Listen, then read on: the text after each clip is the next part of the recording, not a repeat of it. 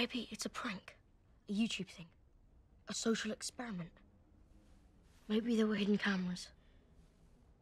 Look. There's something written on the guard. Put it into Google Translate. Gladius Arturi Filius Tintagelli. It's Latin. It means sword of Arthur, son of Tintagel. Who's Tintagel? It's a place. An island off the coast of Cornwall.